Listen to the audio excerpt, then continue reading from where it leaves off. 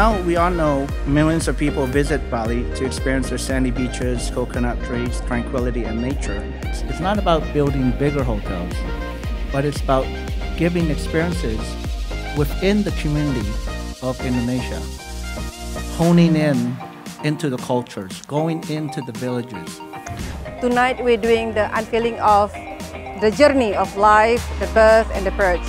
The concept started very simple, the belief of Balinese people on the gods, on the three Hita Karana consists of Brahma, Vishnu and Siva. So the concept of three Hita Karana, uh, the three Datu, the three ways of lifestyle in Bali, Andaz Bali would like to picture that tonight in our unveiling journey of Andaz Bali.